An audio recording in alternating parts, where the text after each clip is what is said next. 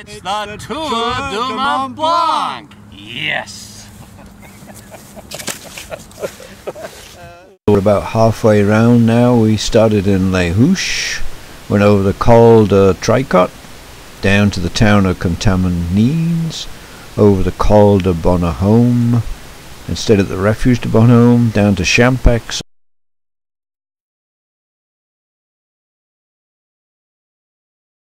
over the Col de Seigne, and down to Courmayeur. We stayed a couple of nights in Courmayeur, then over to the Refuge Elena. From Elena, we're going to make our way back to our starting point at La Houche. Now we're going to be heading north and then eventually turning south to back where we started from.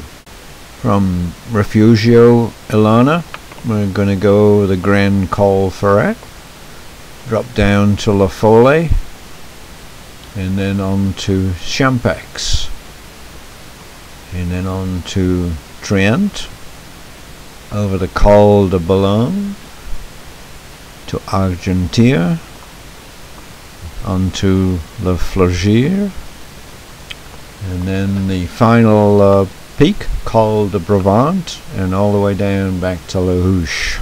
Well, today we'll be going from the Elena hut, and we'll be heading to Fouly.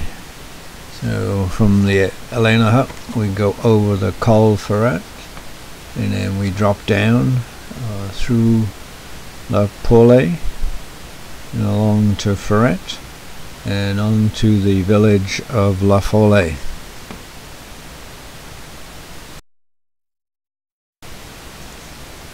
Oh, we'll be leaving the Elena hut and uh, the weather today is a mixture of cloud and sun. Quite cool though since we're quite high up and we'll be going even higher to 8,300 feet as we go across the pass. Looking back down the valley that we followed yesterday and then looking over at Mount Gruetta and then uh, Mount Dolent.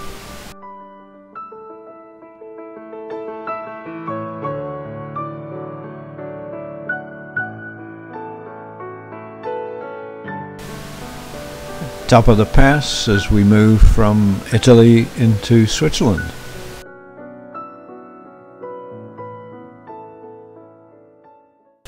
The descent is through these luscious green pastures that the cattle and other animals are brought up to graze during the summer months.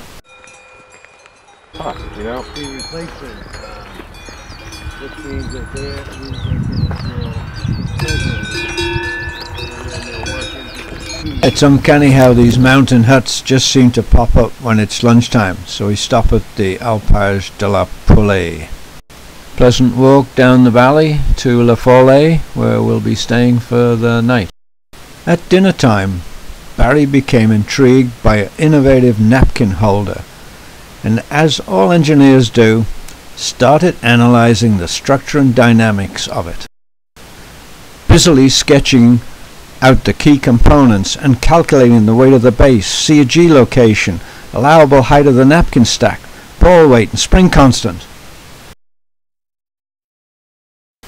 Bruce countering with a more in-depth mathematical analysis, Ivor pondering the spring constant and bending moment, and Ed, ah yes, Ed, was in management. So Fran, any comments? Hey, I just wanted a napkin not Einstein's theory of hand wipes. Now comes the time to put theory to the test. Barry approaches the napkin holder, whips out a napkin, and.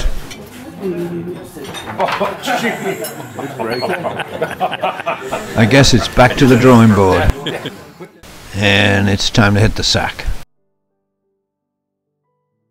Today we're hiking from La Fouly to Champex. So it's a fairly easy walk, fairly easy day as we walk down the valley and then with a final uphill at the end of the day to Champex.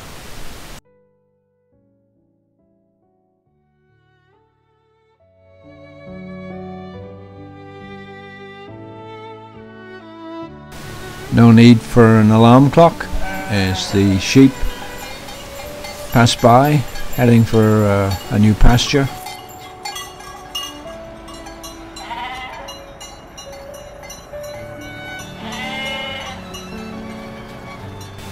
Time to boot up and head out.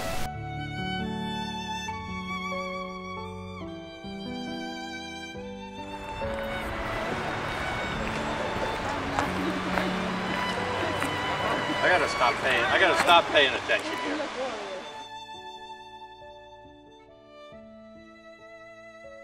Judging by all the rubble in the riverbed, must be quite a strong current in the spring runoff. Negotiating uh, a bit of a slide here.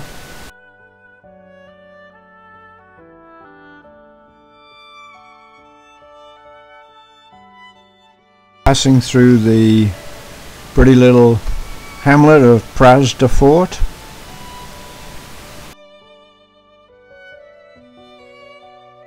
Oh, Fran picked up uh, some fresh strawberries here. Please, Fran, give me a strawberry.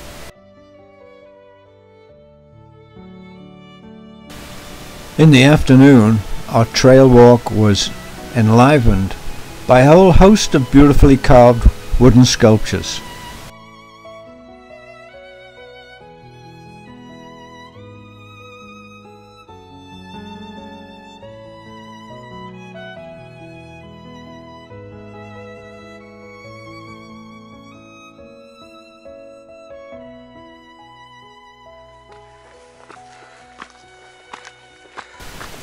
Just a couple more miles to uh, go.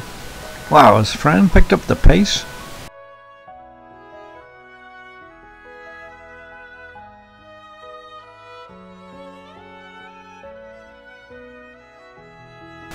We arrived at the Hotel Alpina, where we'll be staying uh, two nights. This was going to be one of the best places we stayed at. It was great food, we had our own apartment, had a deck with a beautiful view out over the mountains.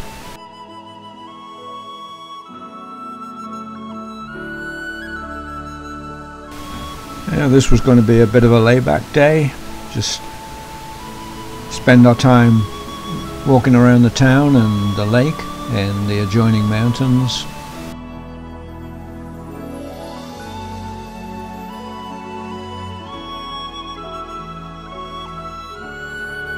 Some Edelweiss, symbol of Switzerland of course.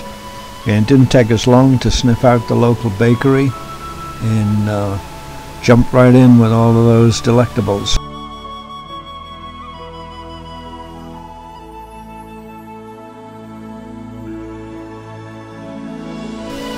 As evening set in, time to cook up the little guy in a stew.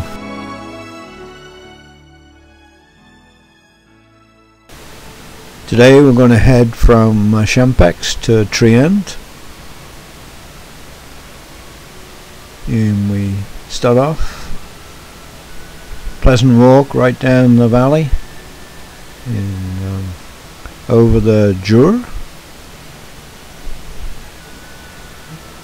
And down to the Col de la Forclaz.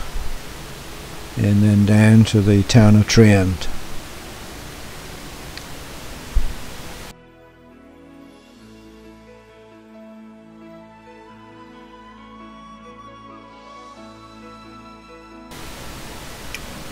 Well, another beautiful day. Can't believe our luck with the weather. I don't think we've had a bad day uh, at all so far.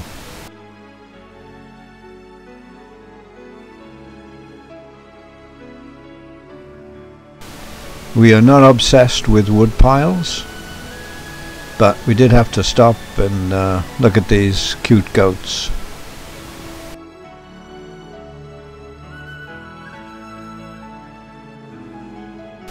Came across these spotted nutcrackers hanging out.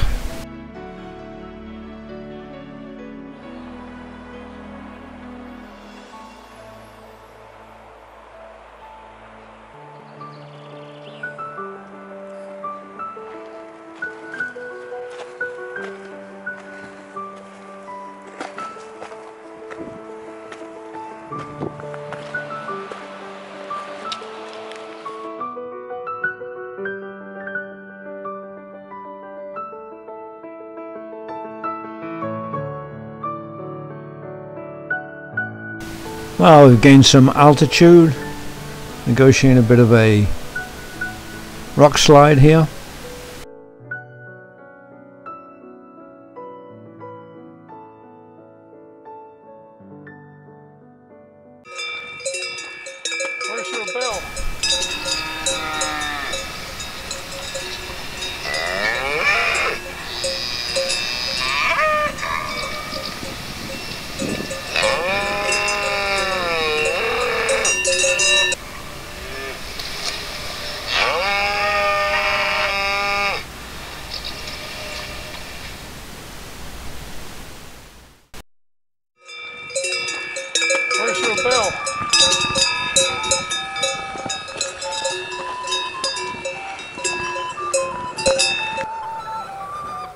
Flute? What instrument is that? I don't know. You say the instrument? It's a recorder. Record? Cool, hmm.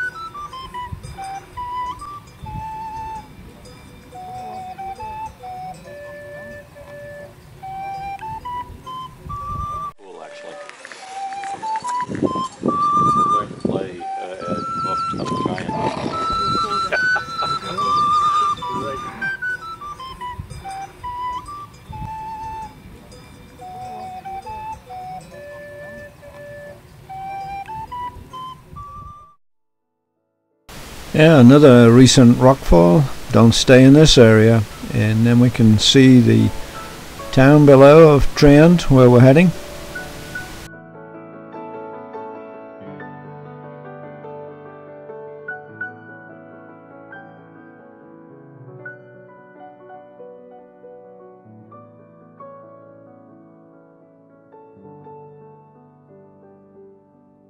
Today we're going to be hiking from Trient to Argentia.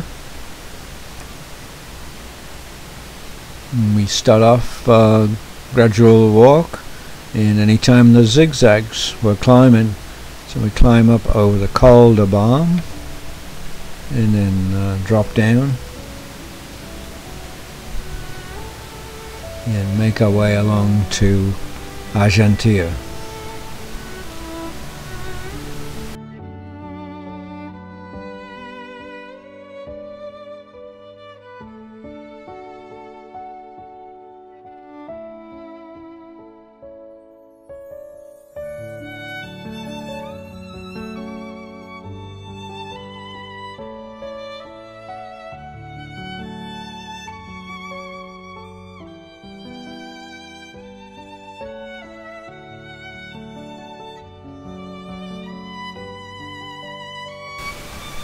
Yeah, not far to the top of the pass now. Some old cow sheds. And um, when we get to the top here, we'll be passing from Switzerland back into France.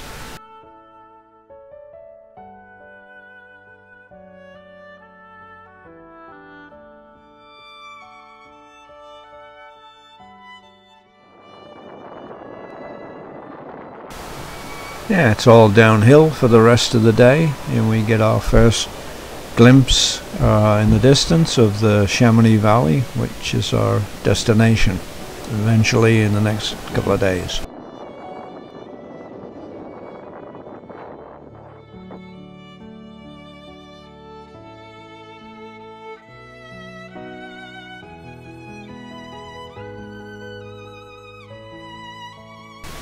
So now we get to check out Fran's hidden skills. Did I mention this was for beers? Said it too soon. Huh.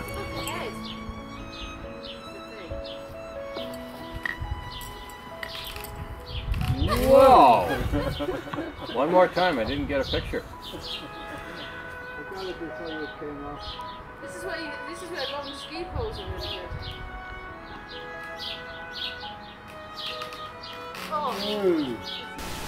We arrive in Argentia. Beautiful uh, flowers all over the place, and uh, great place to stay.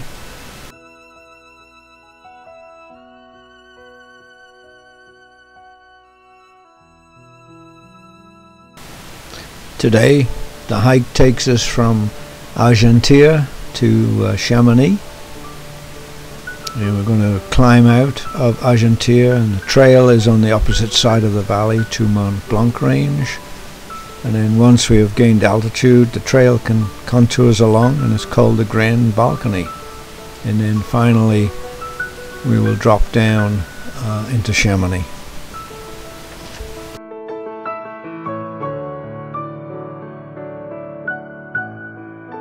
We stop by the local shop, get some lunch, and we're ready to uh, head uphill. Well, almost.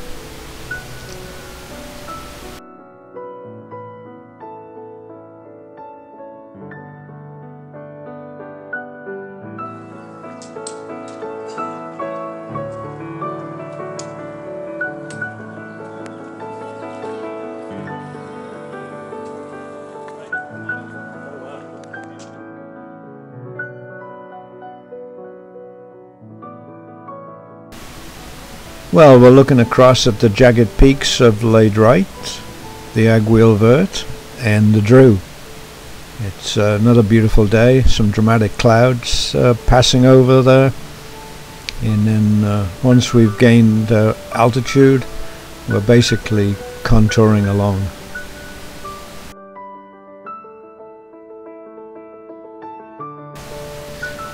Yeah, the Mer de Glace, glacier coming into view now. This is one of the more major glaciers in this area and you can see how dramatic it has receded with the ice now just visible back round the corner.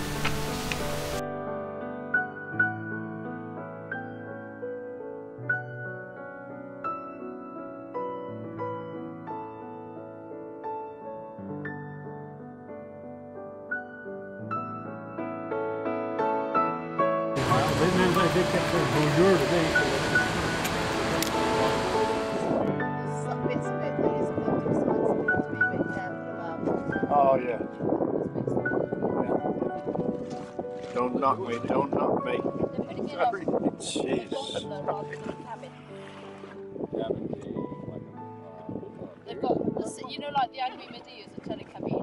Yeah, wash time.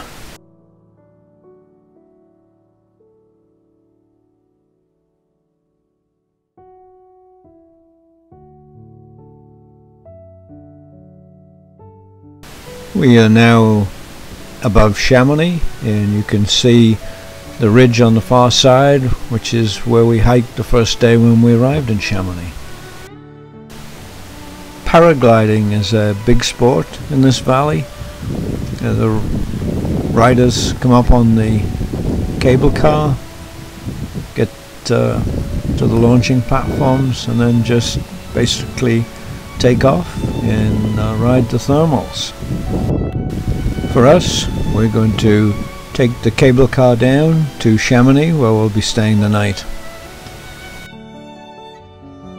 In the town, we came across these solar powered electric bikes that were touring around uh, France.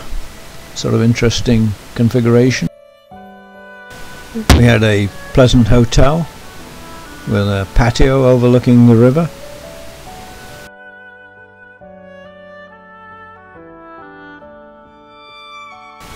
Today is the final day where we leave Chamonix and go back to La Huche, which was our starting point. Now we take the cable car back up to where we left off the trail yesterday and then climb up to the high point, Le Brévent, at 8,300 feet and then uh, cruise all the way down to La Huche. Another beautiful day and we set off and uh, can see the Brévent high up above us and then we um, reach the Col de Brévent. still some lingering snowfields to cross and then a few ladders to climb and we're on the top of the Brévent at 8,000 feet.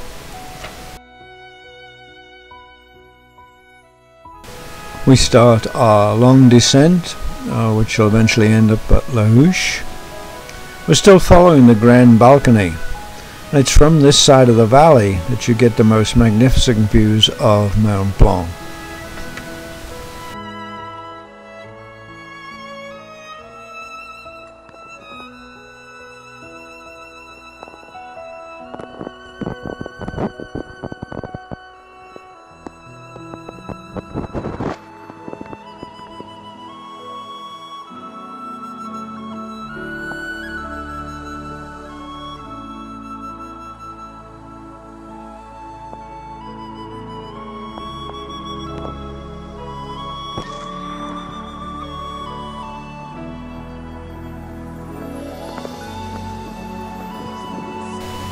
We arrive at uh, Refuge de Bellachat, which is right opposite Mount Blanc. From here, it's as if you can almost reach out and touch it. The scenery is just magnificent.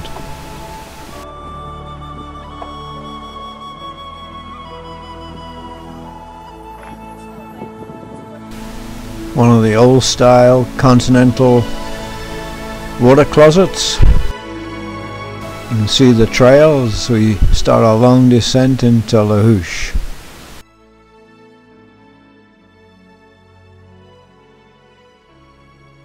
Yeah, from La Houche we get the train back into Chamonix. This is our last day with Fran, so we enjoyed a pleasant end of the trip dinner before saying our goodbyes.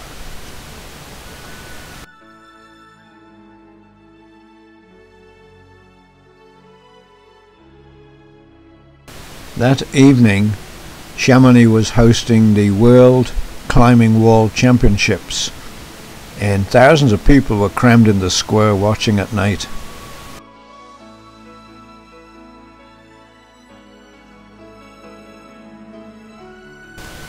Having completed the TMB, we had decided to travel over to Zermatt by train and take a look at the Matterhorn.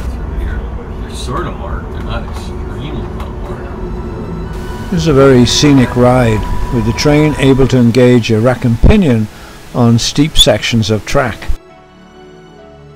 The interesting thing about Zermatt is it's a motorized vehicle-free town. We didn't realize that we'd have a welcoming party when we arrived in Zermatt.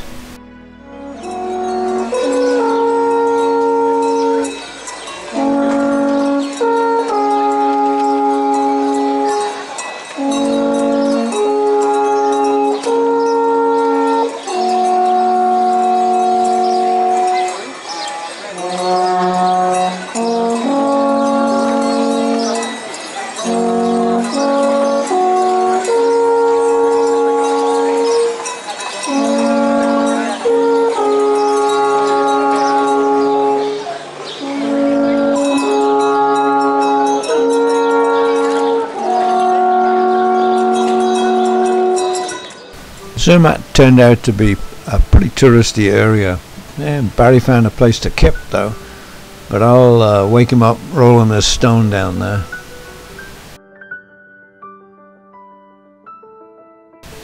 Walter Bonatti uh, is revered as one of the world's greatest climbers.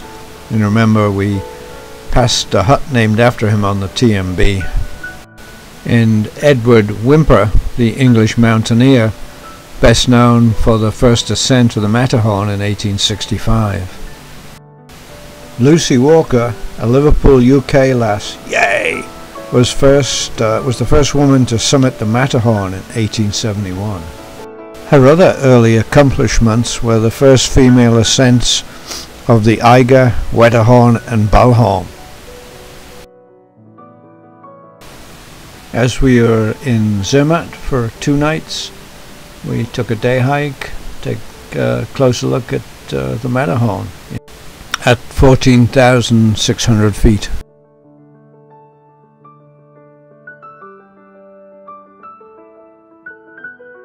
I believe these are chamois.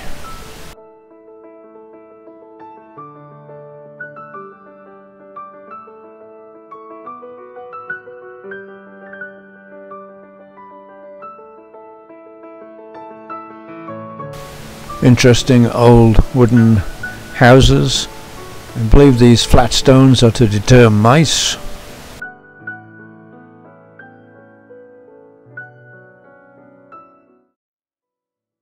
In the woods, we came across this tunnel.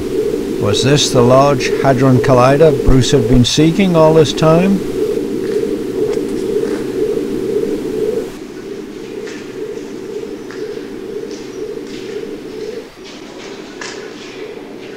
Well, enough of that frivolity. We crossed the gorge on this spectacular suspension bridge.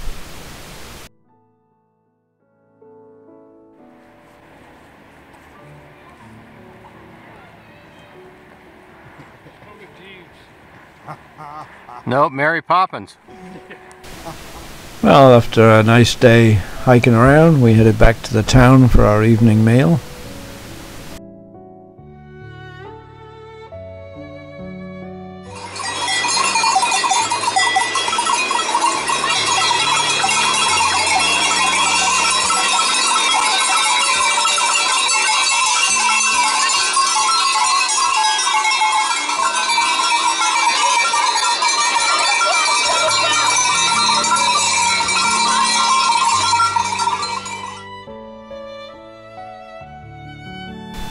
One last look at the Matterhorn before we board the train for Geneva. And just passing Lake Geneva here. We were to spend the night in Geneva before getting the plane on the following day. It's the famous fountain on the lake in the old town.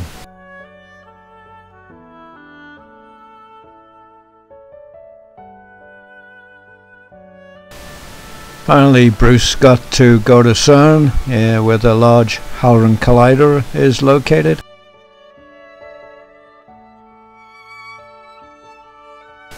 CERN is the European Organization for Nuclear Research, and it houses the Large Hadron Collider, which is 300 feet underground in a 17 mile circum uh, in circumference tunnel. And then uh, what they do is they arrange subatomic particles, usually protons, and accelerate close to the speed of light in opposite directions and then smashed into each other. They break apart and the quarks and gluons come spilling out forming a shower of hadrons. This led to the confirmation of the Higgs boson in uh, 2012. This is a piece of pensioned off copper radio frequency accelerator that was used in 1989 and uh, this sculpture depicts the great discoveries in physics. Time to uh, go board a plane and head back to the USA. And we're homeward bound. Thanks for coming along on the TMB with us from Ed, Bruce, Barry, myself, Ivor, and of course our fearless leader, Fran.